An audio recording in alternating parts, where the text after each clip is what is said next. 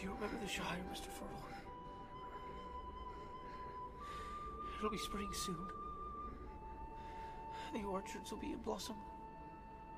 And the birds will be nesting in the hazel thicket. And they'll be sowing the summer barley in the lower fields. And eating the first of the strawberries with cream.